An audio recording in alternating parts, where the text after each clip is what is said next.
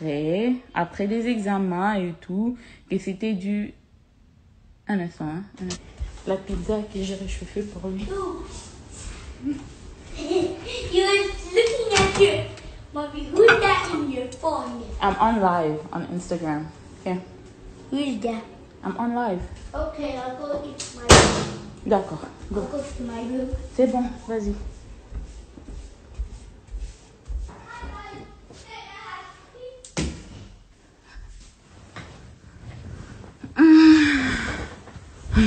Ok. Il est né avec un problème de rein. Quand, il, euh, quand on était encore à l'hôpital, euh, il y avait un problème des reins qui devait être corrigé. C'est pour ça qu'on a traîné un peu à l'hôpital avant d'être libéré.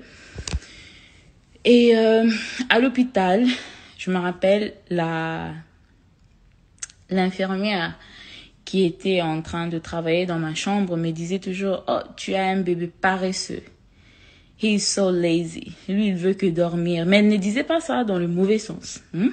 elle ne disait pas ça dans le mauvais sens mais elle avait quand même écrit ça. Tu as un bébé paresseux il bouge pas trop et tout euh, et tout ça tout ça. Mais il n'avait encore rien constaté au niveau de sa colonne vertébrale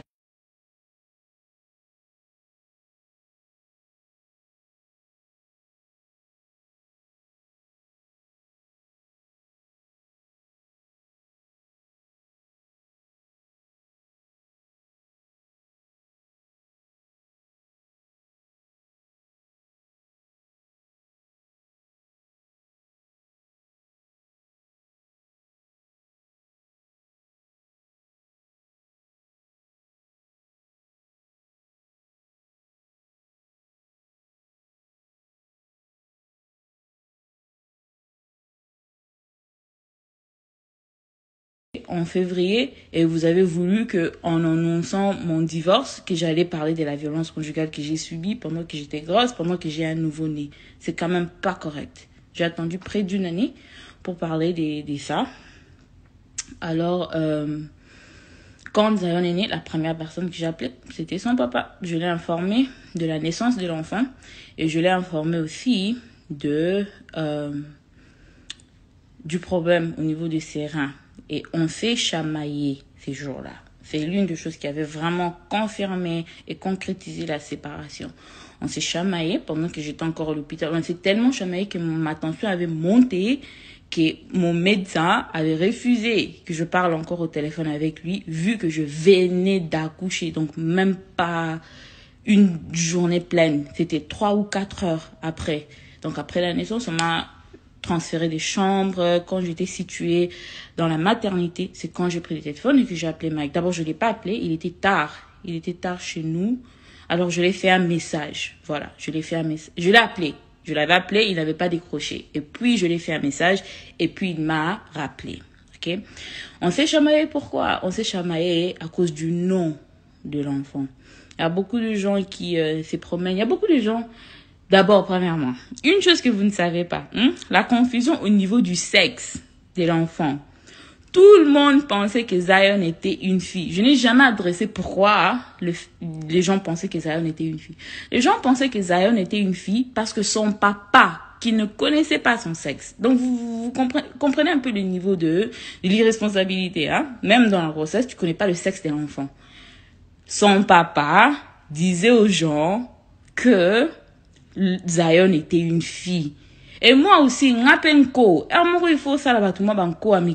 Je n'ai rien dit. Je n'ai pas révélé le sexe de l'enfant. J'ai révélé le sexe de l'enfant quand j'ai révélé la première photo. Mais quand l'enfant est né, quand l'enfant est né, bien sûr que j'ai euh, dit à son papa, euh, le garçon, Zion va bien, c'est un bébé garçon et tout. Mais Mouto a que non, Zion était une fille. C'était son papa. Parce que je sais pas, peut-être ils voulaient une fille. L'un des musiciens de Shekina, de son orchestre, ils m'ont appelé, ils m'ont dit que non, Dieu m'a montré, euh, euh, euh, non, Maestro nous a dit, Maestro, c'est ce qu'ils appellent Mike, Maestro nous a dit que Dieu l'a montré que l'enfant c'est une petite fille. Et si la fille doit naître, il faut donner à la fille le nom de Denis. Ok? Ça sûr qu'il est partout sur les nets que le bébé devait être une fille et que le bébé devait s'appeler Denis. Ngapenko, naloba. Ok, si vous allez appeler le bébé Denis, ok J'ai rien dit. J'ai rien dit. Alors, l'enfant est né, l'enfant est né un garçon et tout, et on parlait au téléphone. Et euh, on a parlé au téléphone, et je lui ai dit, demain le matin, le médecin viendra vers moi pour me donner euh, le papier qu'il faut remplir pour euh, le certificat de naissance de l'enfant, pour le nom et tout ça, tout ça. Je l'ai appelé pour lui parler du nom, ok? J'ai toujours, euh, j'ai toujours, euh, quoi ça? Na, na betara c'était, je sais pas comment dire ça en français. J'ai toujours insisté ou j'ai toujours mentionné le fait que c'est moi qui a donné le nom à mes deux enfants, ok? Shaddai, c'est moi qui a choisi le nom de Shaddai, mais bien sûr que j'ai j'ai demandé à son père, ok? Je me rappelle, on était à Lubumbashi, c'était avant même que je ne conçoive Shaddai. J'étais sur Instagram, ok? J'étais sur Instagram et il y a un pasteur de Dallas, il s'appelle euh, pasteur Jean-Marc Moulumba, Jean-Marc Moulumba, si je me trompe pas.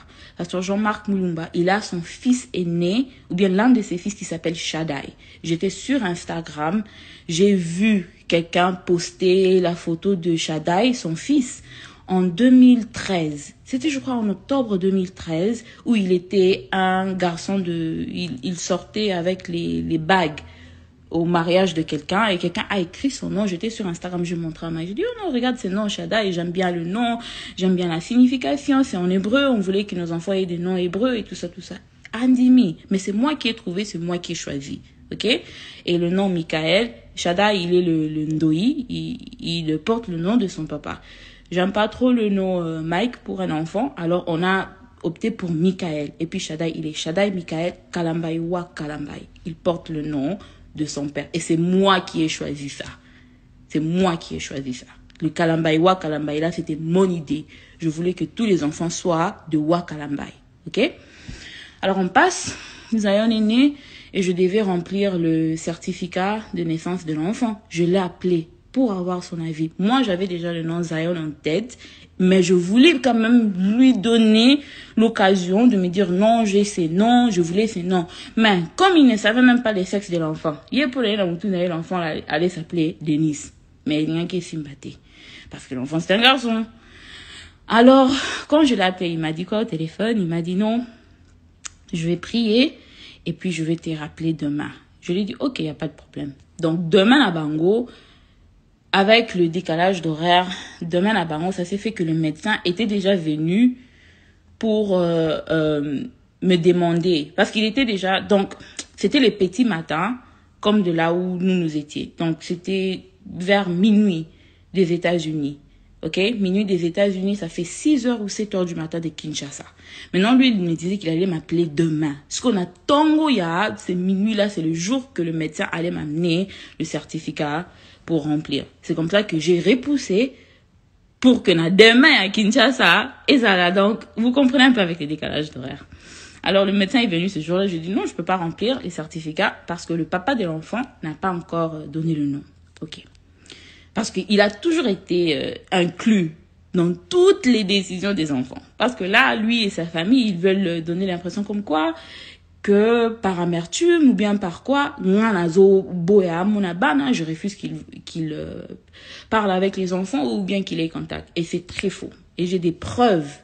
Et vous aussi, vous avez des preuves. Je vais vous rappeler de vos preuves. Des preuves que lui-même, le monsieur, a mis sur Internet. OK? Oh j'aime pas de trucs comme ça, mais il faut parfois laver son nom parce que ça devient un peu des trop. Alors, il m'a appelé. il se dans ma bien fort.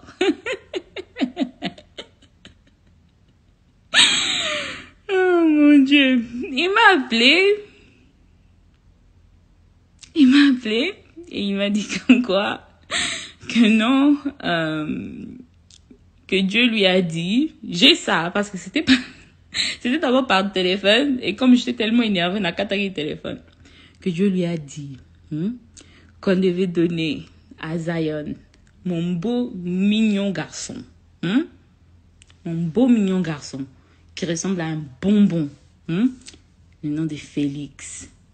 Vous vous, demandez peut-être d'où vient ces, euh, ces, ces, ces surnoms que les gens sur Internet ont donné à Zion, bébé Tshisekedi, bébé Tshisekedi, bébé Tshisekedi.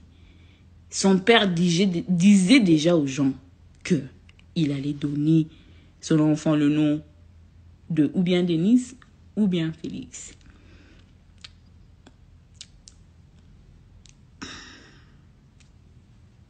Et j'étais catégorique.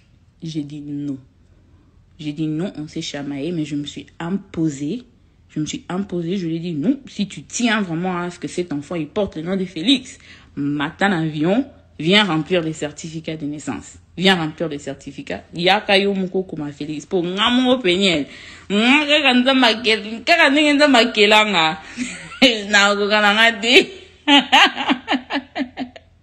Et tu peux voir vraiment écrire sur un certificat de naissance. Félix. Félix. Et c'est dû à ça qu'on s'était chamaillé. Je dis non.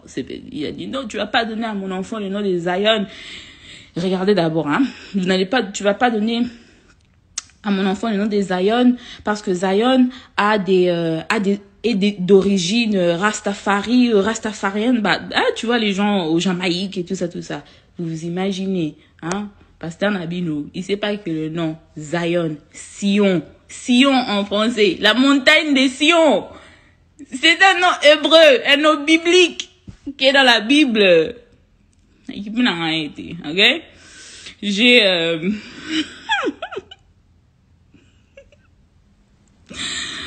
J'ai rempli les certificats de naissance de l'enfant et c'est passé. Ok? C'est passé.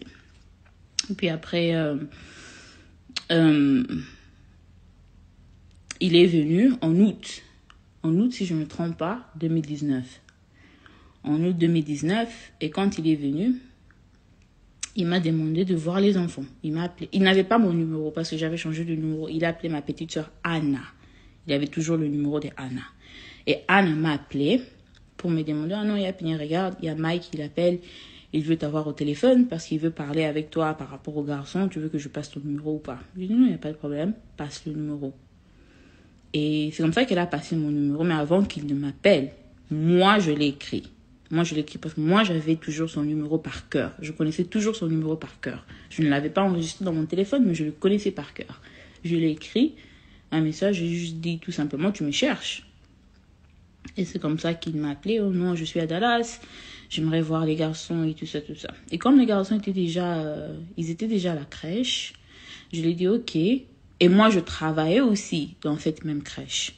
Je lui ai dit ok, nos programmes sont un peu compliqués, mais tu peux venir pendant ma pause, pendant que nous sommes à la crèche, parce que je voulais aussi hein, que le premier rencontre soit une rencontre publique. Ok, dans le public, au cas où euh, il y avait du désordre, je voulais que ça soit en public. Et c'est comme ça qu'il est venu à l'école avec euh, notre ex-parrain de mariage et avec l'un de ses, je sais pas, l'un de ses amis ou je sais pas le gars. Et ils sont venus à l'école et il est entré. Il a rencontré Zion pour la première fois en août à la crèche. À la crèche. Et il a vu Shaddai et tout ça, tout ça. Et c'est comme ça que notre ex-parrain de mariage nous a demandé, hein, je sais pourquoi j'explique ça. On va, on va chuter dans la cagnotte. Je sais pourquoi je vous donne euh, un peu ces timelines. Alors, notre ex-parrain de mariage nous a demandé si on pouvait, hein, le jour suivant, se rencontrer chez notre parrain de mariage. Là, suivez bien. Si on pouvait se rencontrer chez notre parrain de mariage pour qu'on ait ait un peu un, terrain d'entente on sait qu'il s'agissait des enfants donc pour toutes les personnes qui disent oh, pourquoi tu l'as pas appelé? Pourquoi vous n'avez pas essayé de chercher un terrain d'entente? Je l'ai fait à mille et une reprises parce que à part ça à part ça à part ce terrain d'entente que le parent avait organisé je l'appelais moi, j'appelais Mike avant que je ne puisse supprimer son numéro et euh, ne pas l'avoir échangé mon numéro avant août quand il cherchait ma soeur. Moi, Péniel, je l'appelais. Je l'appelais, je l'écrivais. Je parlais même plus loin pour dire que je le suppliais d'être présent dans la vie de ses enfants. OK? OK? Merci. Alors, euh, on s'est vu le jour suivant chez notre parrain, Papa Roger ex-parrain de mariage Papa Roger. Et on parlait. Et euh, Papa Roger m'a demandé, moi, quelles sont tes demandes? Et qu'est-ce que tu veux de Mike et tout? Moi, j'étais claire. J'ai dit que je veux qu'il soit présent physiquement et financièrement dans la vie de ses enfants. Parce que, Tilelo, Tilelo, à part 40 dollars, au Mike appelle ça Shada une école, na crèche wana. Hein, le jour qu'il l'a rencontré pour la première fois à la crèche. À part 40 dollars wana. Tilelo, je dis bien jusqu'aujourd'hui même 100 francs, il n'a pas sorti pour ses enfants. Et Mike, vous aimez trop dire que Peignel aime tout exposer. Moi, j'expose pas. Moi, je me défends, ok? Parce qu'il y a des gens qui passent et qui disent qui, tout ce qu'ils veulent dire, ils racontent. Même quand je, avant même de parler de l'infidélité, il y avait des photos de Mike qui circulaient sur euh, l'internet que ses ex-copines avaient, avaient, euh, avaient exposé. Et tout le monde pensait que parce que c'était moi l'épouse, que c'est moi qui avais exposé les photos. Donc cette communauté m'a harcelé, m'a, m'a attaqué à plusieurs reprises pour de choses qui n'ont rien à voir avec moi. Moi, quand je parle, quand je réagis, c'est une réaction, c'est pas une action, c'est toujours une réaction et je ne réagis pas à tout. Je réagis à ce que je pense est important. Et je pense demander l'argent publiquement, c'est pas une blague. OK? Les gens travaillent. Les gens ont des projets pour l'argent qu'ils sont en train de donner dans des cagnottes là. Donc la moindre de choses, c'est d'être honnête et dire aux gens pourquoi tu as besoin de cet argent-là clairement? Et dire ce que tu feras avec cet argent-là clairement. OK? Alors, euh, le parrain m'a demandé qu'est-ce que tu attends de Mike et tout? Moi, je lui ai dit non, moi je veux qu'il soit présent financièrement et physiquement. Il m'a dit tu veux qu'est-ce que tu veux dire par physiquement? J'ai dit physiquement, il doit me donner une horaire. OK? Moi je vis aux États-Unis avec les enfants, Mike il vit au Congo. Il visite les États-Unis, moi je vis au Congo. J'ai besoin d'une horaire. OK? Une horaire parce que Shadai a une tablette, il a un iPad, ok? Donc si Mike n'a pas envie de passer par moi pour parler avec Shadai, il peut appeler son fils sur FaceTime. Ok, est tout le temps connecté au Wi-Fi. Il peut l'appeler sur FaceTime audio, il peut l'appeler sur FaceTime vidéo. Il n'a pas WhatsApp, mais Mike a un iPhone. Je sais le téléphone qu'il a. Il a un iPhone, il peut appeler son fils sur FaceTime. Alors je lui ai dit, je veux qu'il me donne une horaire, les heures où lui, il sera disponible, où Mike sera disponible, ok? Et moi, je vais matcher ça avec l'horaire de Shadai. Comme Shadai, il part à la crèche et moi, je travaille. On a aussi nos moments ensemble, moi, Shadai et Zion. Je veux pas que ça puisse, que les horaires soient conflictuels, ok? Je veux qu'il me donne une horaire. Il va appeler à quelle heure Il va visiter combien de fois l'année Parce que quand les gens ne savent pas, ils ne sont pas là. Quand Shadai me pose des questions, il me dit quand est-ce que je veux voir papa?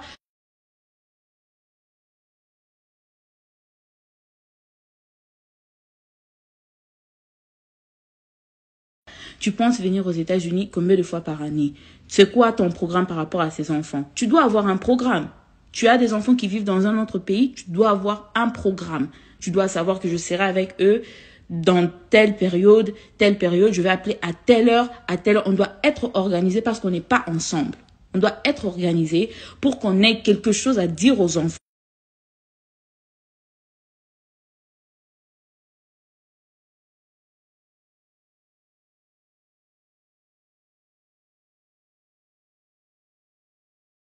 J'ai demandé une horaire et j'ai demandé aussi qu'il soit présent financièrement pour ses enfants. Et euh, ils ont donné la parole, le parrain a donné la parole à Mike. Et Mike a dit, il n'y a pas de problème. Lui, il sera euh, présent. Il va donner une horaire avant que tout Cabana. Et il allait aussi être présent financièrement par child support. Hmm? Ça, c'est ce que Mike a dit. Il a dit, il a entendu parler de quelque chose aux États-Unis qui s'appelle le child support. J'ai dit, ok, il a pas de problème. Si tu veux qu'on fasse les choses par child support pour l'argent, que tout s'efface par par voie judiciaire, ok? Même les visites, même les appels, c'est le juge qui va dicter. Parce que si tu ne veux pas qu'on ait un terrain d'entente entre nous par rapport à l'argent, moi aussi je préfère pas que ce soit par moi qu'on va décider les visites, que le juge décide et que le juge trouve bon comment on va le faire, ok? Et c'est comme ça que le parrain a dit, OK, si c'est comme ça que vous vous décidez, je dis non, si c'est ce que lui il veut, hein, parce que moi, moi, je vais pas exiger comment je voulais que cet argent soit remis et je vais pas exiger comment les visites. J'ai juste voulu une horaire. Alors, euh, c'était, euh, c'était un peu ça. Et les parents ont dit, OK, on va entamer le processus de child support. Mais en attendant que le child support entre, Mike, tu dois quand même être présent financièrement. Parce que les child support, c'est pas les ali panangubate. Tu vas pas aller appliquer aujourd'hui, on te donne les child support demain. Non. Il y a plein de choses qu'il faut vérifier. Et c'est comme ça que le parent a dit que non, Mike, en attendant, tu dois toujours faire quelque chose pour les enfants en question.